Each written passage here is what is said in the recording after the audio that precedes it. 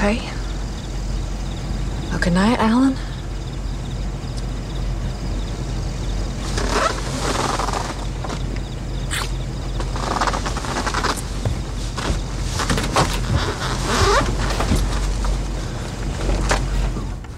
Well, I think we should get on with it. Would you come over here and unzip me, please? Yep. Something else you want to try this time, you just let me know, okay? I haven't had enough. You're gonna be late. I don't care.